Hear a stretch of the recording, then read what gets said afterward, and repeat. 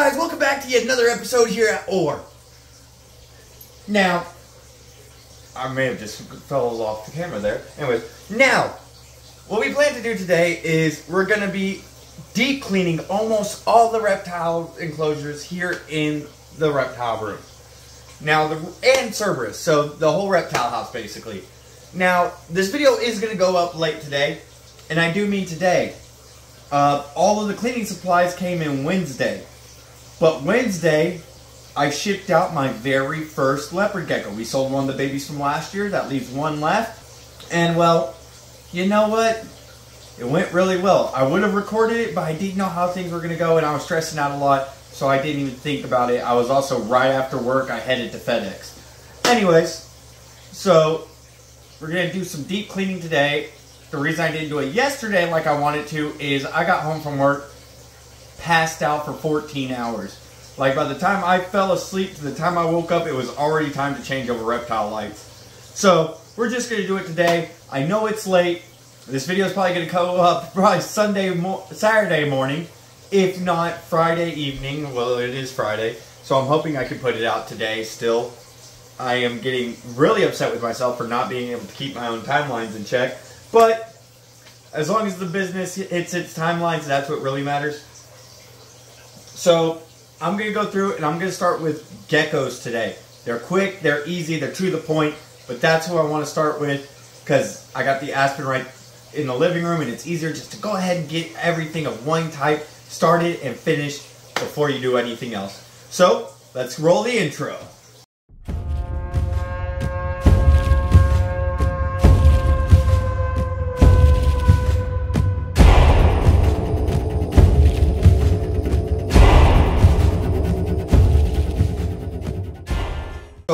Using Katie's Small Small Pet Select Aspen sh Shaving Bedding.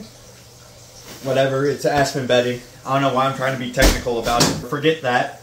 Uh, I've been using this for the past two and a half years. Anyways, I've been using this stuff. It's real easy to get up. It's not the kind of Aspen bedding that you'll find that like that real thin coarse stuff. The reason I use this thicker stuff is because this way if the animal eats it, it'll recognize it in its mouth a little sooner and it's going to spit it out and not ingest it. So that's why I use this big stuff. We're going to keep using it. It's one of my favorite to use. It also comes in this big bag and this big bag will easily fill up everyone in here twice. But it's time to get to it. So enough lollygagging around.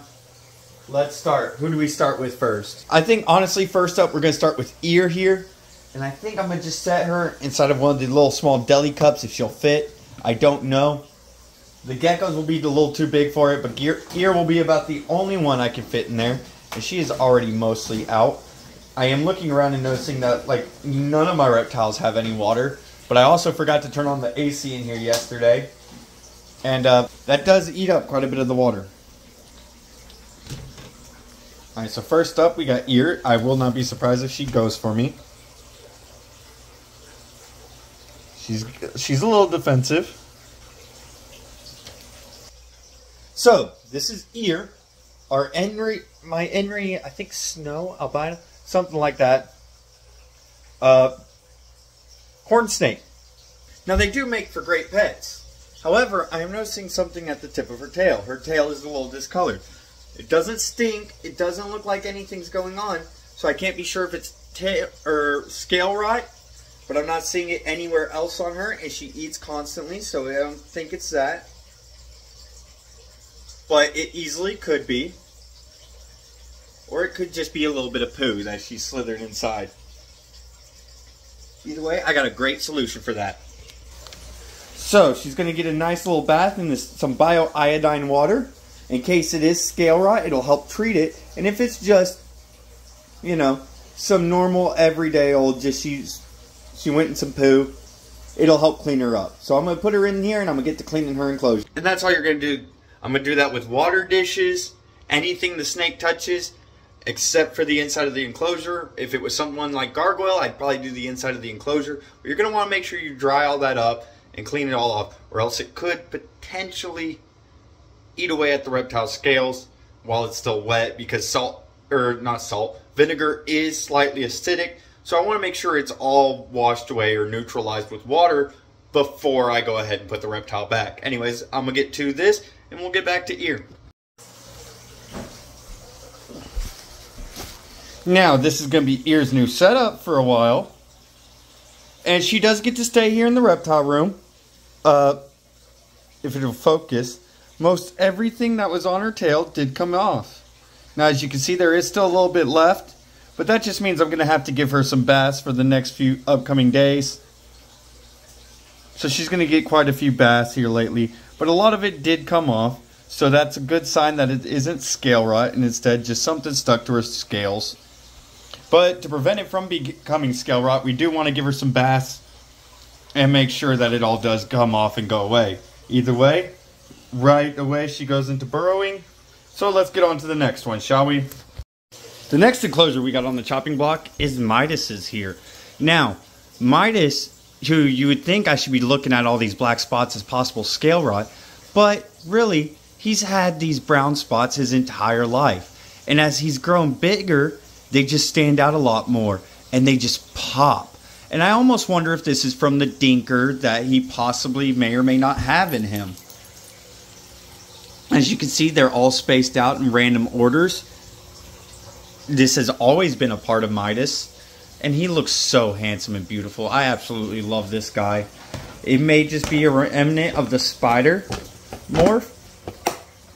Or Midas is going to get a bath just like Ear just did. All my reptiles are going to get a bath. It's going to help hydrate them. Going to help them keep moist scales, help them if they're going into shed. Some of these reptiles, it's harder to tell if they're going to shed. Midas and Ear are both ones that are kind of sort of difficult to show. But we're going to get into cleaning his enclosure. So let me go get his uh, coconut coir in here so I can start taking care of him. Look at the handsome boy right after getting a bath. Ooh, that water's still nice and warm, which is perfect because I do have the AC turned off in this room. So I'd imagine it'd still be warm. But look at him, looking all beautiful. Always looks more golden after a shower. Or, a, not a shower, a bath. But uh, yeah, this is to be his new setup for a little bit. For the next three months. Kind of give him some different reviews. What you gonna do, bud? You gonna climb? You just gonna sit there? Look stupid? There he goes.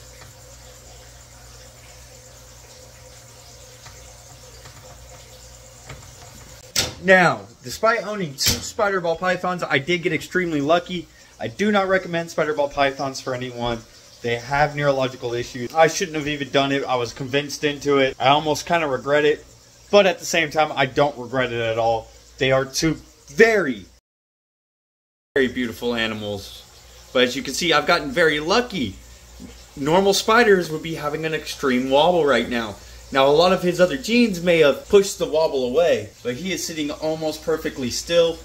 He's got a little bit of a wobble when he goes into hunting mode, but other than that, he is perfectly fine.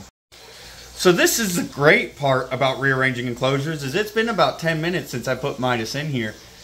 And he is still out and exploring. Such a curious little boy. Now as much as I like Hell's setup, it is time for it to be changed.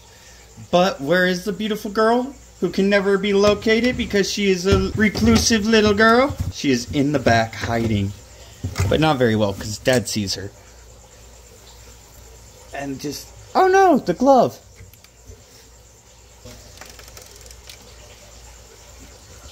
Now, I don't know if you heard that or not, but she did rattle her tail against the glass as a defensive mechanism, makes predators believe she is a rattlesnake, which is ironic because she eats rattlesnakes, but still, because of the fact she's going to only get four foot long and she doesn't actually have venom, she has to have some sort of defensive mechanism, either bright colors which she doesn't have, or mimicry, which is what she's doing. She's mimicking rattlesnakes, even though she looks nothing like them.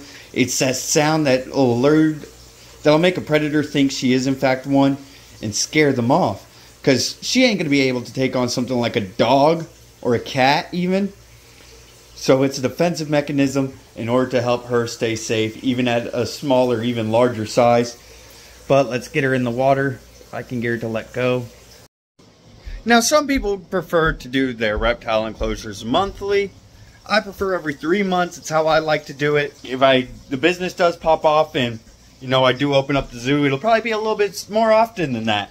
Just be hell, even when the business pops off, it'll be more often than that. Because the the more animals you have in a facility, the more often you want to clean. Right now, I am still comfortable with doing the three months. If I get a few more animals in here, I'll definitely be reducing it to two months to if not a month. But it's all based upon what you got and what your preferences are. Like I said, for me personally, it's every three months. As I did mention earlier, because I want to talk about it before I forget about it, we sold our first leopard gecko this week. Well, not the first leopard gecko, but it is the first one that I sold and shipped out. Which is a monumental movement in the right direction for the business already. That money that I made is just sitting in the bank and it's going to stay there for a little bit. Eventually, when I make more money, I'll use that to go ahead and improve on the business. Most likely with another female leopard gecko. The reason being is because I don't want War to be holding all the breeding again next year. I'd be okay with getting one more leopard gecko before then, and I'd even be okay with getting a ball python at some point before then. Luckily for me, my work is about to bump up into overtime and I make just enough money to survive based upon my hours. But luckily when that overtime comes in, I can start using the money to further go into this business. And that's what I'm going to do. Heck, whenever I open a Patreon or if we can hit, you know, the 3,000 subscribers required by YouTube to make money off of the platform, then, oh man, all that money also going to go into the business my dream and end goal is it might not be possible, but this is year one. I got four more years. If it happens sooner, if it happens later, I will be ecstatic. But I want to have my own actual store within the next four years. I don't know how feasible it is. I don't know how impossible it is. All I can do is wait and try and find out in time. Now, because I'm doing this deep cleaning, I figured this was a great time to, you know, just go ahead and talk to you guys about my future plans like that. And that is one of them is I do in the next five years want to open my own business. I do eventually want to see places like Thailand, Mexico, places like that, places where reptiles are abundant. Arizona would be a great one here in the United States. This way I don't have to get a passport. If I could ever get my car fixed and make a summer trip to Arizona, I would do it. I'd love to see wild Gila monsters uh, natural rattlers, all that. I'd love to go out in the Arizona desert for just a week and just explore, live, survive. And I'd love to do that at some point, and hopefully the channel can at some point bring me there. If not, that's okay. We'll do it on my time with money I make working as a normal American. I'm done with here, so let me go put on my gloves again so I can put Hell back so this way she don't bite my hands. You see that right there? He's shedding. Oh well.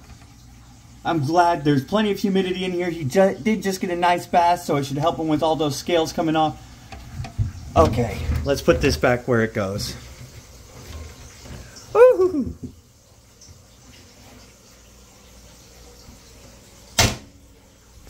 Remember what I talked about earlier that sometimes I can't tell when Midas is about to shed? Point proven. I didn't know he was going to shed literally today. He showed no signs of it. Yes, he didn't eat last week, in fact, he hasn't eaten in the last two weeks, I believe, which isn't a strange for Midas. He is a little more on the picky end. But, uh, yeah, no, I was not ready for that whatsoever. Sorry, I had to get up there and actually latch the dang thing because it came undone. But yeah, no, everything's going to work out eventually here in the end. And I can't wait for it. And I appreciate everything y'all do. But yeah, we we shipped our first gecko this week to a subscriber, no less, which means a lot to me. I love to see the community grow. I love for the community to put back into the business because y'all are ultimately what's going to make this business grow, not me. No matter what I do, I can only make it grow so much. I can add to the collection, but it'll be just that as long as no one buys. It's just a collection. But as long as you guys buy, I am glad to keep doing this, even if it's just a little side hobby and I never get to quit my day job. oh, I love to share these beautiful animals with the world. So this is currently how we have house set up. I know, very similar to how it's always been, but it is a little different. Either way, she does not want to go back home. She is very much curious and wants to explore. I'll bring her out later.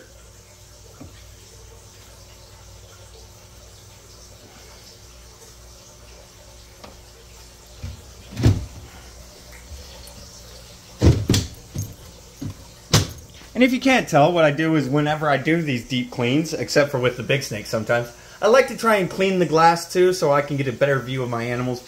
Yep, look at him. There he goes, shedding away.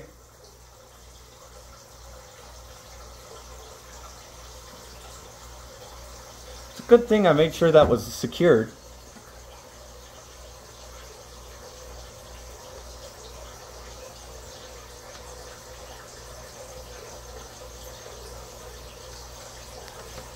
Amazing. I love to watch them shed. It brings it's so cool, and I still to this day keep a lot of their sheds. I don't know why I'm obsessed with their sheds, but I am, especially the complete ones. Like I've said before, I've thought about starting a Patreon using y'all's money to build the business, and I'd do something like, oh, for 20 bucks, I'll send out sheds. For 5 bucks, I'll do shout outs here on the channel and for 40 bucks I'll send you a shirt. Well, I'm nowhere near ready for that because I definitely don't have anyone ready for a shirt. But I think that'd be such a cool idea. And but there is one major thing. The economy sucks. I can't afford to live by myself.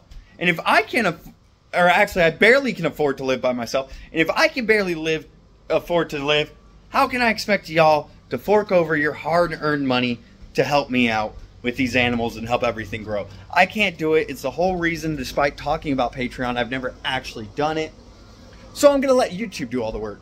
Instead of doing a Patreon or something like that, please, if you want to show support for the channel, subscribe or send out.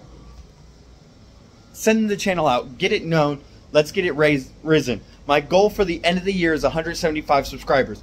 We are so close to that already. We have exactly 37 subscribers to go right now.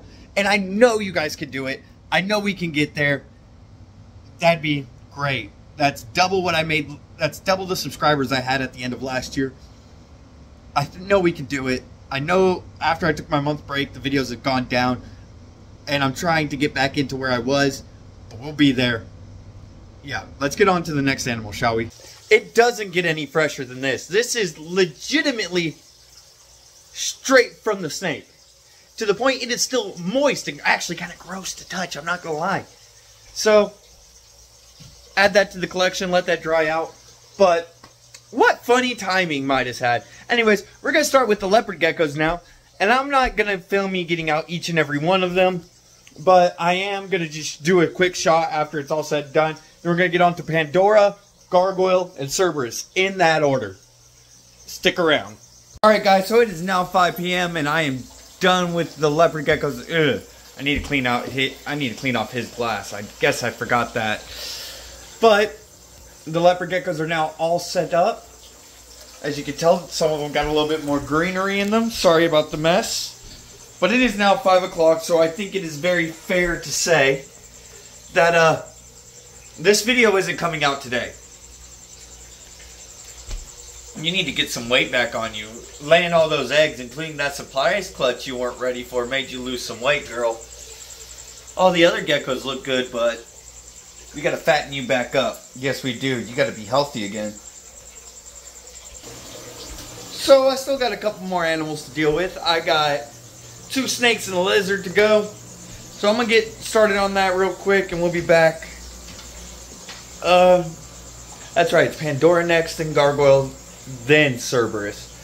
So let's go ahead and get with that. If I have to, I can put Cerberus tomorrow. I am still off tomorrow, so it won't be any detriment to him or myself. But I do also have to get this house clean because this reptile room is a mess. And so is the rest of my house due to all the aspen all over the place. Yay! You know, while I was cleaning the leopard geckos, I uh, decided to make a little investment here. I didn't buy any anything big or fancy, but I did buy something. That's going to be a surprise for sometime next week's videos. As it is going to be coming in. And it is going to help me out just a smidge.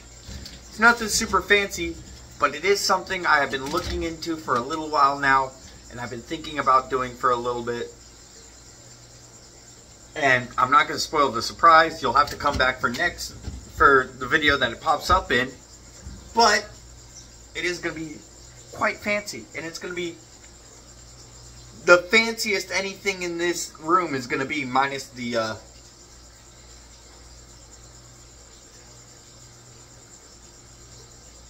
Did you just lay eggs? You are underweight. Don't tell me you're trying to lay eggs right now. Girl, how much baby batter did you save up? One second, one second. Let me show you guys what I'm seeing. Look at War here. You can't, she's not doing it right now, but she was literally just kicking all that out. In fact, you could see some of it kicked into her hide. What are you doing, girlie? One second, I'm about to check her hide box, make sure she didn't just lay a clutch of eggs. See, look at her go, look at her go. It's almost like she's nesting right now. I've never seen her do this. And I really hope she isn't about to lay a surprise clutch of eggs. She is so, she is very underweight for something like that due to all the eggs she had laid this year because of the last surprise clutch being about a week or two after her last clutch, she hasn't fattened up properly. And also, I didn't really see her chasing the crickets I had put in there, so maybe she did lay a clutch of eggs. Oh my goodness, I really hope not. That's not what this video was intended to be. This is crazy, absolutely insane here. I've never seen her act like this. Uh, one second. Well, I don't want to cuss, but damn. No wonder you're underweight. You just keep popping out eggs. You just keep popping them out. I haven't paired you with a male in a month. Where the hell did you get the baby batter from? As you can see, guys, I got a clutch of eggs, so I got to deal with that real quick. Despite literally going about cleaning all these leopard gecko enclosures, God, we got a shed today and we got eggs laid. What the hell is going on here? I'm sorry, I know I'm using HE double hockey sticks often, but what the? Girl, slow your roll. You're gonna, you're gonna get MBD at this rate. This is just to prove that reptiles hold on to baby batter a lot longer than anything else does. So, uh, yeah, no, I wasn't ready for this at all. I got to get these eggs in an incubator. In fact, the incubator isn't even set up. So I don't know if these eggs are going to be good or not.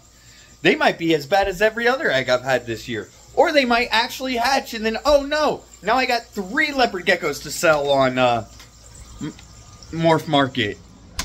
God, I was not ready for this. As you guys can see, I've, I've shown you guys pretty much every time I've uh, gave War a mate. But, uh, yeah, no, I was not ready for that. That blue, what the? I'm not mentally prepared for this. I don't know whose offspring they could be. They could be War because I paired her up with, or not War, Famine. Because I paired her up with Famine forever ago. And she didn't produce because she just laid Gluttony's eggs. Which we had tried for Gluttony a lot this year. We didn't really try for Famine. But, uh, yeah, what the? this is not what I was expecting at all. I'm gonna have to edit this one up quite a little bit, but whew, I guess we'll keep in. They might not even be. Can- I guess I could candle them, see if they're even viable eggs, or I could just throw them in the incubator and hope. I don't think she's even had any viable eggs this year. And I'm not good enough at the candling to know what exactly to look for here. I, that's something I need to practice more, but I don't want to damage the eggs in case there is actually something in there. But that girl ain't never going to get back up to weight if she keeps holding on to the baby batter like this. I'm really going to have to check her enclosure out because there's only this one egg. And She was still digging around in there. So I'm just going to look around in here real quick, make sure there's not another egg somewhere hidden around in here because she normally lays two eggs. Leopard geckos can lay anywhere from one to two eggs. I just want to make sure there's not a hidden second one because if that egg goes bad and starts decaying in here, it's going to be really bad for her, and we don't want that. Are you the dad? Are you Mr. Uh, father? So I just checked her enclosure. There's only one egg, so it may be a single egg clutch. I'm going to be back in a couple of hours just to double check, because there is a chance that she is, still has one egg hidden away in there. I don't know for certain, and I won't know for certain until I check back in a couple of hours. The odds are it is a one egg clutch because she did leave the lay box and started digging around in there. But man, we weren't ready for this. We were supposed to get the gargoyle, Cerberus, and everyone else, not be stuck on the leopard geckos for this long. Anyways, I'm gonna get to setting this egg up and putting it in the incubator, and then we're gonna get to Pandora. That's gonna be enough of the egg for this video. It was not supposed to happen. Let's hope this egg hatches this year, and if it does, I don't know. Maybe I'll keep it because of the fact. Well, I wasn't expecting this. This this was a surprise clutch altogether. Wow. I I think I'm gonna have to end the video there. There is no way whatsoever I can top that. I mean, a surprise egg out of the blue? Yeah, there's nothing I can do. I Gargoyle could try and bite me and it wouldn't be enough to increase this video anymore. But I do want to say I candled the egg. I believe I did properly. I put a light up to it. I didn't see what looked like veins. Veins usually look, from what I understand, reddish, and the egg itself should look a little pink. And it just looked yellow inside of there. Then again, my eyesight's not what it should be. I can't be 100% certain. So it's going to go in the incubator regardless. And I have already decided. I am going to sell the. If one does come out, I am going to sell it on Morph Market. I got no choice right now. I need the extra income so that I can get this business started. As much as I want to start keeping eggs, I can't keep eggs. I also don't have enclosures in here to keep the geckos. But I have decided that while the gecko is here, if it is a male, it'll be known as Bear Grylls because it is a survivor. And if it is a female, I got to remember her name, but I'm going to name it after the woman off Man Woman Survivor for the exact same reason. It doesn't go along with the theme I have in here, but you know what? That that egg blew my mind. Wasn't ready for it. It's getting the dang name. And it's going to stick. I'm probably going to keep recording just in case anything crazy does happen while I'm cleaning these animals. But the video may or may not end here. So with that, I'm going to say thank y'all so much for watching. And I hope to see you in next week's video. And be, stay tuned because here in two months, if that egg is viable, it will hatch.